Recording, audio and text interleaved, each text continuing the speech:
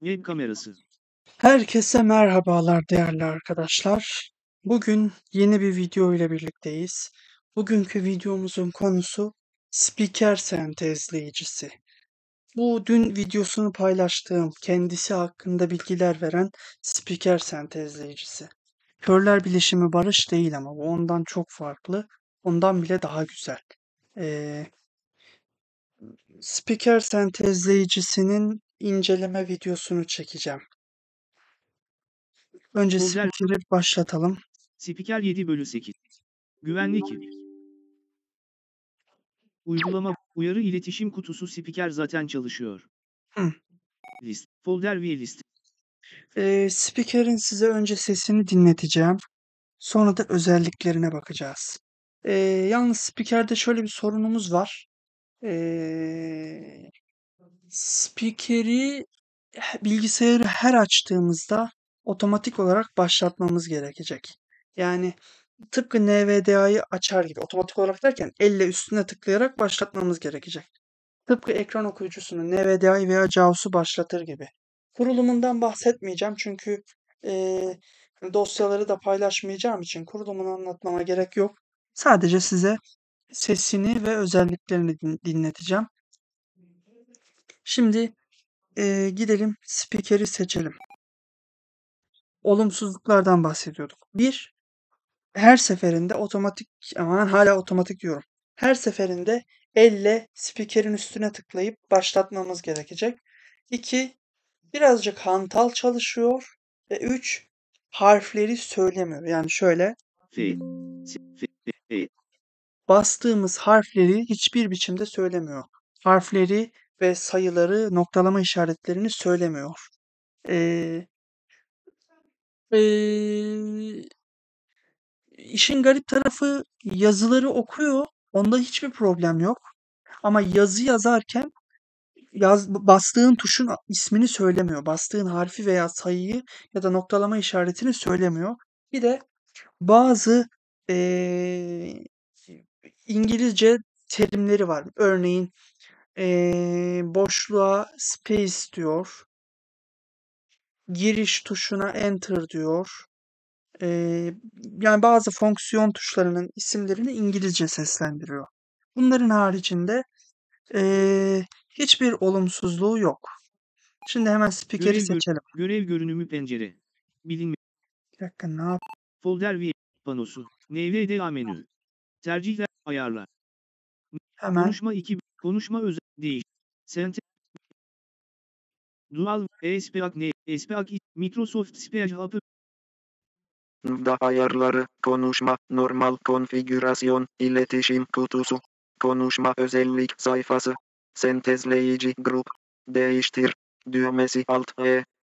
Yazı alanı salt okunur çok satırlı SEGOE 9 0 punto satır 1 sola hizalı Microsoft Speech Hub versiyon 5 Değiştir düğmesi alt E Ses seçim kutusu speaker Türkçe konuşucu kapalı alt E Recording form Folder view spiker Türkçe konuşucu olarak görünüyor. Eee, Barış yazmıyor. İsmini Barış olarak göremiyoruz ama ses tonundan anladığımız kadarıyla kendisi bariz bir şekilde Barış sentezleyicisi. Şimdi eee, bir duralım. da menü. Tercihler alt menü T. Araçlar alt menü L Dual Voice alt menü V. Yardım alt menü A. Prepare Voice Manager M 6 bölü 14 Konfigürasyon profilleri G 7 bölü 14 Kaydedilmiş konfigürasyona dön G 8 bölü 14 Fabrika ayarlarına dön F 9 bölü 14 Konfigürasyonu kaydet G 10 bölü 14 Bağışta bulun. E 12 bölü 14 Çıkış C 14 bölü 14 Evet şu anda eee, menüleri okutuyorum. Tercihler alt menü T. Ayarlar L 1 bölü 4 Konuşma sözlüğü alt menü O. Varsayılan sözlük V 1 bölü 3 Ses sözlüğü Z 2 bölü 3 Geçici sözlük Ç 3 bölü 3 Bu sesin eee, ayarlarında sesi daha insansı, daha az insansı veya tamamen robotik yapma seçeneğimiz var. Eee, birazdan ayarlarında göstereceğim gibi eee, ses ayarlarını yapılandırabiliyoruz. varsayılan sözlük ve ayarlar L 1 bölü girdi hareketleri noktalama imla sözlüğü araçlar log dosyasını göster L konuşma görüntüleyici K Braille görüntüleyici B eklenti mağazası M Python konsolu P taşınabilir kopya oluştur T Com kayıt tamir aracını çalıştır C 7 bölü 8 Pluginleri yeniden yükle P 8 bölü 8 Log dosyasını göster L 1 bölü 8 Araçlar menü L Dual Vo Yardım al Kullanıcı rehberi G Komutlar için çabuk rehber O. I Ne yeni Y 3 Da web sitesi W 4 bölü 10 Lisans I 5 bölü 10 Katkıda bulunanlar G 6 bölü 10 Hoş geldiniz iletişim kutusu. Ş 7 bölü 10 Güncelleme kontrolü. G 9 bölü 10 Hakkında. H 10 bölü 10 Bu hakkında menüsünü bir okutalım mesela. Da hakkında iletişim kutusu. Non-visual desktop address da sürüm. 2023 3 4 2023 3 4 31265 web sayfası https www.vadres.org kopya hakkı c 2006-2023 da ya katkıda bulunanlar da GNU General Public License sürüm 2 tarafından lisanslanmıştır. Bu yazılımı lisansla birlikte dağıttığınız ve isteyen herkesle kaynak kodları paylaştığınız sürece istediğiniz herhangi bir yolla paylaşmakta ya da değiştirmekte özgürsünüz. Bu yazılımın orijinal ve değiştirilmiş kopyaları için olduğu gibi bağlantılı herhangi bir çalışma için de geçerlidir. Ayrıntı için yardım menüsü altında lisansı görüntüleyin. Çevrimiçi olarak görüntülemek için şu adresi kullanabilirsiniz. https www.gnu.org licenses old licenses gpl 2 0 html da körler ve az görenler için ücretsiz açık kaynak çözümler geliştirilmesi için çalışan ve kar amacı gütmeyen ne ve adres tarafından geliştirilmektedir. Da'yı yararlı buluyor ve geliştirilmeye devam edilmesini istiyorsanız lütfen ne ve adres için bağışta bulunmayı değerlendirin. Bunu da menüsü altında bağışta bulun seçeneğini kullanarak yapabilirsiniz. Tamam düğmesi normal imleci Bakın uzun metinleri okurken ses böyle inişli çıkışlı bir hal alıyor. Bir geri doğru böyle robot robotlaşıyor, robotvari bir hal alıyor. Bir ileri doğru gidiyor böyle haber spikeri gibi konuşuyor falan. Böyle çok güzel bir ses. Ama mesela basıyorum harflere şu an. Şu an harflere basıyorum, sayılara basıyorum. Ne harfleri ne de sayıları okumuyor. Devam edelim. Rec da menü ara ter ayarlar L 1 bölü 4 da ayarları genel normal konfigürasyon iletişim kutusu kategori liste genel 1 bölü 15 konuşma 2 bölü 15 Konuşma ayarlarını seslendirelim. konuşma özellik sayfası. Sentezleyici grup. Yazı alanı salt okunur çok satırlı. SEGO 9 0 punto satır 1 sola hizalı Microsoft Speech App versiyon 5 Değiştir. Düğmesi alt E. Ses seçim kutusu speaker Türkçe konuşucu kapalı alt E Bir de şöyle bir şey var. Bunu ilk kurduğunuzda ve e, sentezleyici olarak seçtiğinizde SAPI 5'in sesini çok hızlı hale getiriyor. Yani konuşma hızını çok arttırıyor ama bu çok önemli bir sorun değil. Hatta hiç sorun değil. Sonrasında yeniden hızı istediğiniz gibi düşürebiliyorsunuz. Hız sürgü 56 H. Eee, buradan ses eee, ayarı yapamıyorsunuz. Yani ses seviyesini artırıp azaltabiliyorsunuz ama ton ayarı yapamıyorsunuz. Ton ayarları falan hepsi spikerin kendi içinde. Spikerin kendi içinden yapılıyor. NVDA üzerinden herhangi bir ayarlama seçeneği olmuyor. Yani ayarlama seçenekleri var gördüğünüz gibi ama yapılmıyor. Hani NVDA'nın TTS ayarları bu sentezleyicinin üzerinde etkili olmuyor. Devam edelim. Ses perdesi sürgü 51 alt S. Ses seviyesi sürgü 106 V. Destekleniyorsa konuşma dilini otomatik olarak değiştir onay kutusu işaretli. Destekleniyorsa konuşma lehçesini otomatik olarak değiştir onay kutusu işaretli. İmla seslendirme düzeyi seçim kutusu hiçbiri kapalı alt L. Karakter ve sembolleri işlerken sentezleyici ve sesin dilini dikkate al onay kutusu işaretli. Karakter ve sembolleri işlerken emoji dahil Unicode konsorsiyumu verisini dahil et onay kutusu işaretli. İmleç hareket ettiğinde imlecin üzerinde bulunan karakteri gecikmeli olarak açıkla onay kutusu işaretli alt Ç. Büyük harflerde ses perdesi değişim yüzdesi yazı alanı 30 seçildi. Tabi bu da etkili olmuyor. Buradan hangi ayarı yapılandırırsanız yapılandırın noktalama okuma ayarı bile bu sentezleyici üzerinden etki etmiyor. Bunun bütün ayarlarını kendi uygulaması üzerinden yapılandırıyoruz. Büyük harflerden önce büyük de onay kutusu işaretli değil alt ü. Bunu işaretleyelim. Belki işe yarar. Space işaretli. Bakın aralık tuşuna bastım. Space dedi. Hatta onu da düzgün okuyamadı. Space dedi. Bazı komut tuşlarını ve bazı fonksiyon tuşlarını İngilizce olarak seslendiriyor. O da ne iştir anlamadım ama o benim için yine sorun değil. Ben NVDA'nın üzerinden sözlük dosyası oluşturarak onları yeniden Türkçeleştiririm. Yani sadece bu barış sesine özel bir sözlük hazırlar. İngilizce olan komut tuşlarını teker teker Türkçeleştiririm. Ha bu spikerin kendi içinde sözlük girişi ekleme özelliği yok mu? Var ama ben onu kullanamadım maalesef. Hani ya bir şeyleri ben atlıyorum, yanlış yapıyorum. Sözlük girişi ekleniyor ama etkili olmuyor. Bu yüzden NVDA'nın üzerinden sözlük girişi ekleyeceğim. Büyük harflerde bip sesi çıkar onay kutusu işaretli değil alt i. Space işaretli. Bakın şimdi eee, aşağı doğru gezdim. Düğmeye bastım. Ben düğmeye bastıktan bir saniye sonra aklı başına geldi. Metinleri okumaya başladı.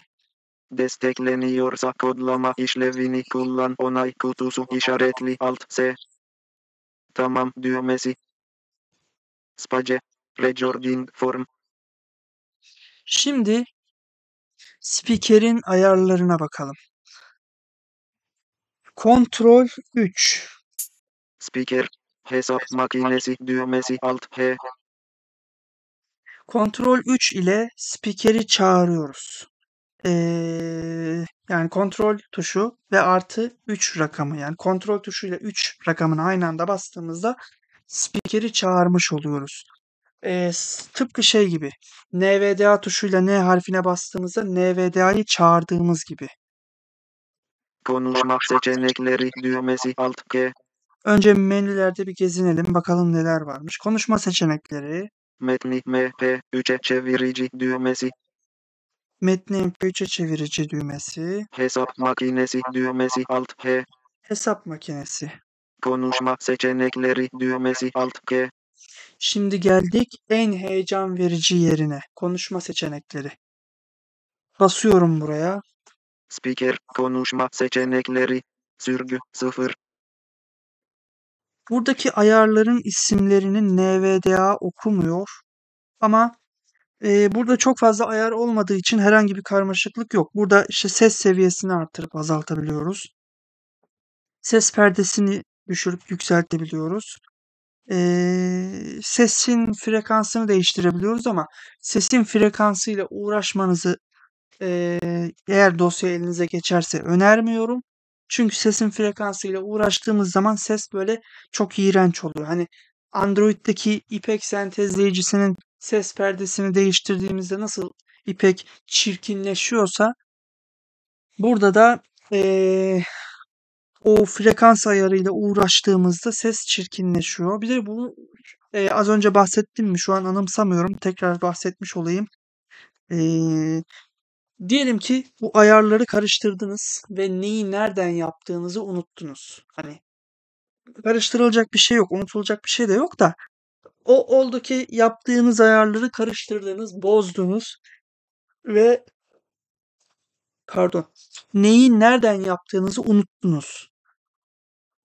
Aşağıdaki eee, seçeneği kullanarak spikeri varsayılan fabrika ayarlarına döndürebilirsiniz. O zaman spiker varsayılan fabrika ayarlarına geri dönecektir ve eee, ayarları yeniden yapılandırabileceksiniz. Devam edelim. Sürgü 57. Sürgü 48. Sürgü 51. Noktalama işaretlerini oku. Onay kutusu işaretli değil. Noktalama işaretini oku. Mesela işte bütün ayarları etkili olabilmesi için buradan yapılandırıyoruz. Yoksa hani JAWS'un üzerinden etkili oluyor mu bilmiyorum. JAWS kullanmadığım için bir bilgim yok ama NVDA'nın TTS ayarları bu sentezleyiciye hükmedemiyor. NVDA'nın TTS ayarları bu sentezleyiciyi kontrol edemiyor. Devam edelim. Seçim kutusu kapalı kapalı. Kapalı Kelime kelime cümle cümle. Şimdi bu seçenekler şu anlama geliyor. Kapalı dediği spikeri tamamen robotik hale getiriyor. Çok robotik oluyor. Demin din- sesini dinlediğiniz gibi. Kelime dediği orta. Yani ne çok insansı ne de çok robotik oluyor. Cümle dediği de eee,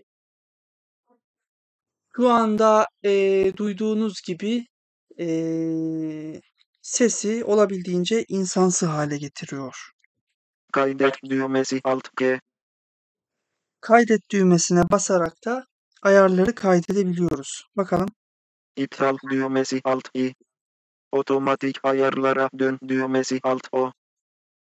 Otomatik ayarlara dön düğmesiyle de demin bahsettiğim üzere speaker'in ayarlarını sıfırlayabiliyorsunuz. Şimdi kaydedelim bunu. İptal düğmesi alt I. Otomat grup. Otomatik ayarlara dön düğmesi alt O. İptal kaydet düğmesi alt G. Speaker konuşma seçenekleri düğmesi alt G. Metni MP3'e çevirici düğmesi Elimde metin dosyası olmadığı için bu fonksiyonu gösteremeyeceğim ama buraya tıkladığımız zaman bizden bir metin dosyası seçmemizi istiyor. İçinde yazıların bulunduğu bir metin dosyası seçmemizi istiyor.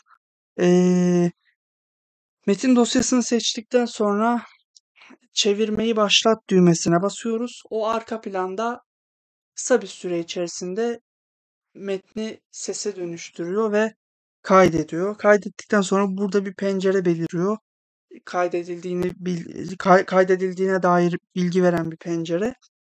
Tamam diyoruz ve eee, ses dosyamızı bulabiliyoruz. Fabrika çıkışı olarak ses dosyalarını kendi içinde bulunan MP3'lerim klasörünün içine kaydediyor ama istersek bu kayıt seçeneğini değiştirebiliyoruz. Yani şeyi eee, dosyaları bizim istediğimiz bir konuma kaydetmesini sağlayabiliyoruz. hesap makinesi düğmesi alt H. Tekrar spikeri kapatmak için spiker tuşu artı 3. Speaker bilin folder Spiker tuşu dediğim bu alt tuşunu spiker tuşu olarak seçiyor program otomatik olarak. Eee, bir de şu var. Spikerin tekrar çağıralım spikeri. Speaker hesap makinesi düğmesi alt H. Spiker tuşu alt Y. Speaker genel ayarlar Windows her başladığında spikeri çalıştır onay kutu. Pardon Alt Y diyorum. Spiker tuşu artı Y. Burası spikerin genel ayarlarını açar ve burada şu seçenekler var. Saniye. SAPI 5. Windows. Sözcük Windows her başladığında spikeri çalıştır onay kutusu işaretli değil. Burası eee, yani bu seçeneği işaretlediğinizde tıpkı NVDA'nın otomatik başlaması gibi spiker kendini otomatik olarak başlatıyor. E, bu seçeneği işaretlemezsek ve spikeri de kendimiz elle başlatmazsak bir sonraki sefer bilgisayarı açtığımızda spiker konuşmayacaktır. Konuşması için onu elle başlatmamız gerekecektir. Ya bu seçeneği işaretleyeceğiz. Spiker bir daha bir şeyle uğraşmamıza gerek kalmadan kendi kendini otomatik olarak yeniden başlatacak. Ya da burayı işaretlemeyeceğiz. Ee, spikeri biz elle başlatacağız. Sentezleyici olarak seçmeden önce. Devam edelim. SAPI 5 desteği aktif onay kutusu işaretli. SAPI 5 desteği aktif veya pasif. Yani bu aralık tuşuna bastığımızda pasif oluyor. Aralık tuşuna tekrar bastığımızda aktif oluyor. Fabrika çıkışı olarak aktif şekilde geliyor.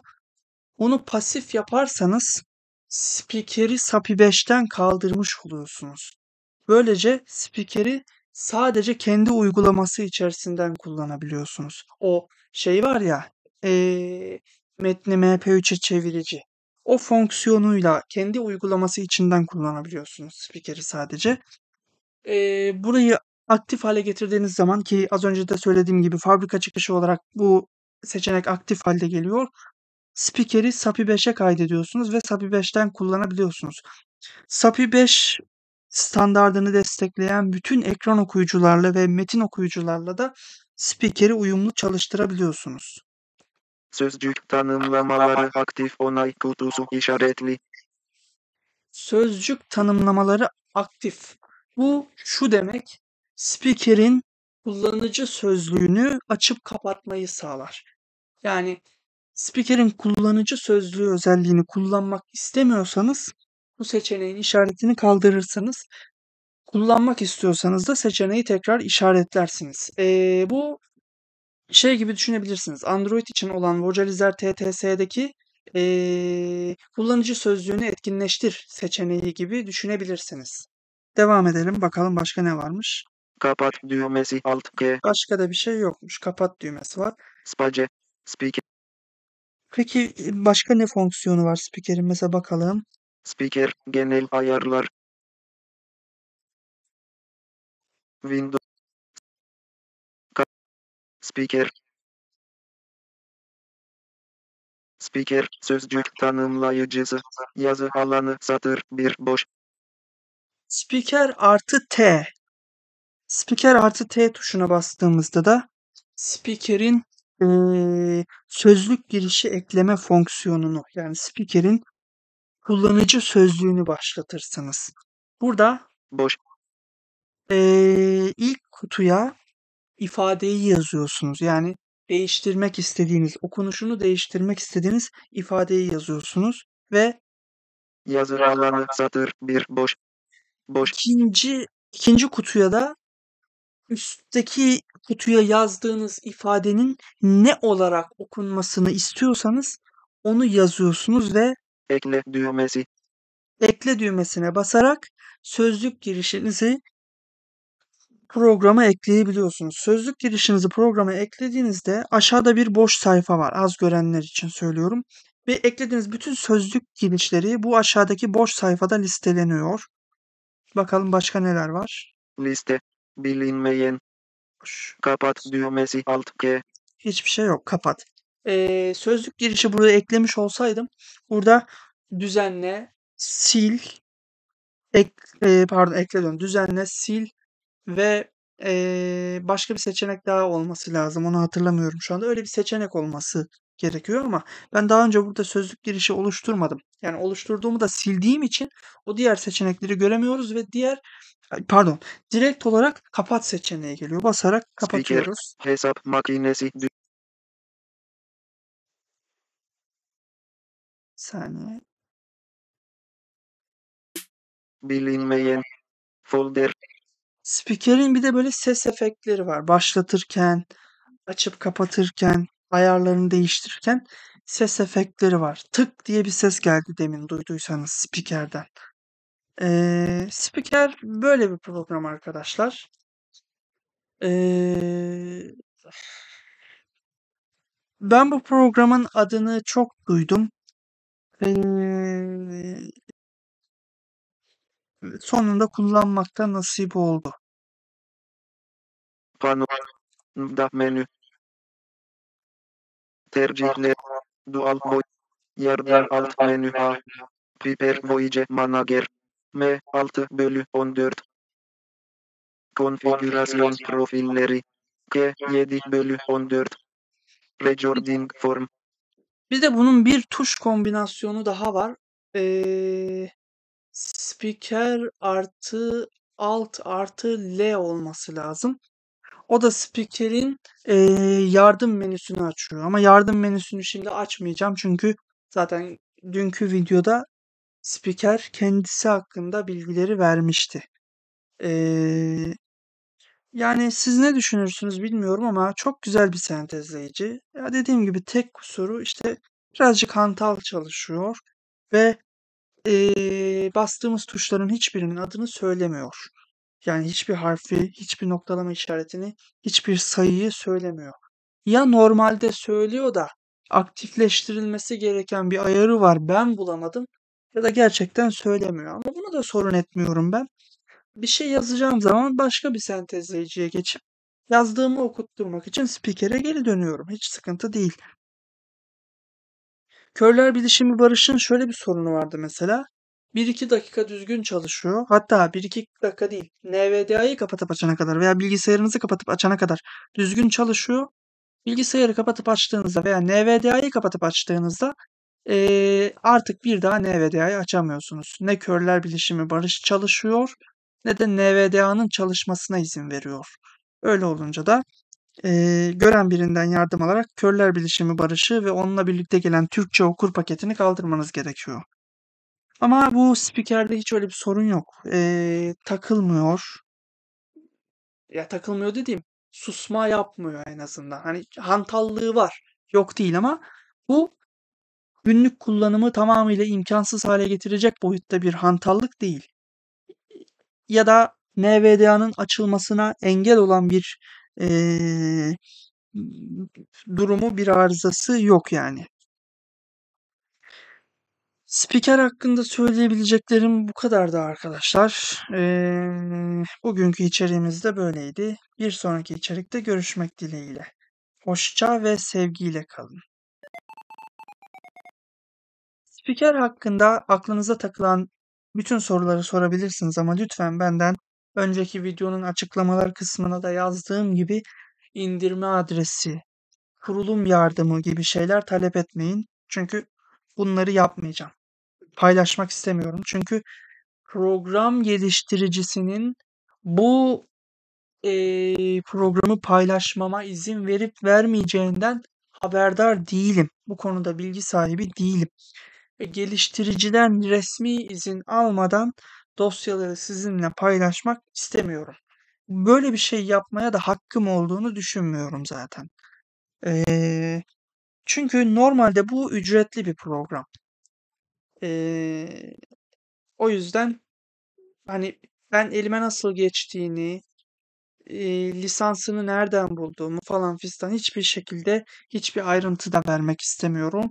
Programı paylaşmak da istemiyorum. Ama bunun haricinde yine de programla alakalı merak ettiğiniz sorular olur- olursa sorabilirsiniz. Bilgim dahilinde ise büyük bir keyifle cevap verebilirim. Hatta sadece programla alakalı olmayarak eee, başka bilgisayarla alakalı, teknolojiyle alakalı sorular sorularınız varsa bunları da sorabilirsiniz. Şayet sorularınız benim bilgim dahilindeyse, soracağınız sorularınızın cevapları bende var ise büyük bir keyifle, büyük bir zevkle, büyük bir şevkle ve büyük bir şerefle size yardımcı olacağımdan adınız gibi emin olabilirsiniz.